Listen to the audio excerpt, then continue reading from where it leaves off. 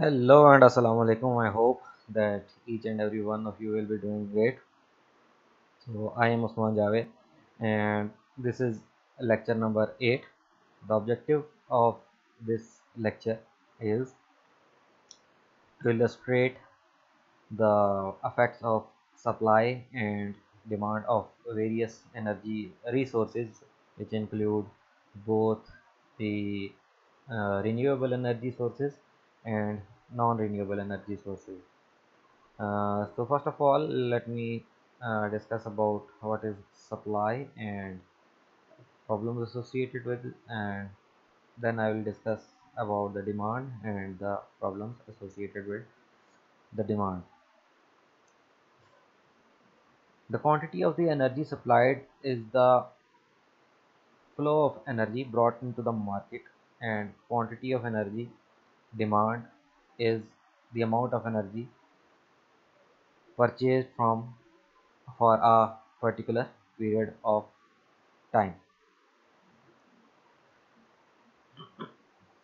So this is the definition of supply and demand. Supply means the flow of energy which is supplied to the market and demand is the energy that is purchased for a particular time period. The use of energy has its effects with respect to the source being considered on environment.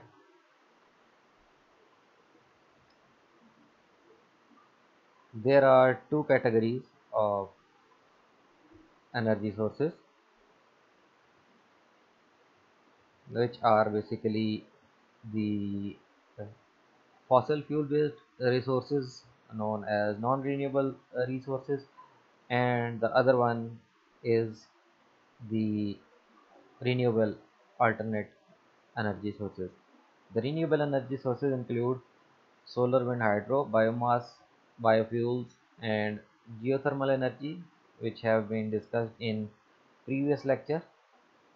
Also the non-renewable or fossil fuel based, uh, based source include the oil natural gas coal and nuclear energy. The problems associated with these fossil fuel based energy is that they have very deteriorating environmental impact. Danger posed by the leaded fuels are oil spills and gas leaks and explosions water pollution and greenhouse effects and air pollution whereas the non-renewable energies do not have these effects on our climate. There are two main strategies available for energy supply.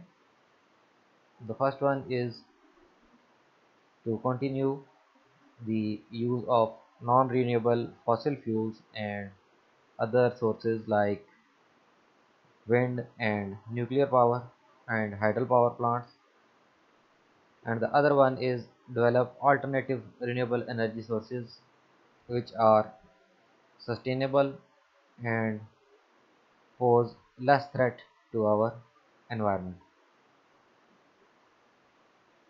Energy demand is the term used to describe the consumption of energy by human activity. It drives the whole energy system influencing the total amount of energy that is being used. The location and types of fuel used in energy supply systems and the characteristics of the end use energy that consume power or energy all contribute to energy demand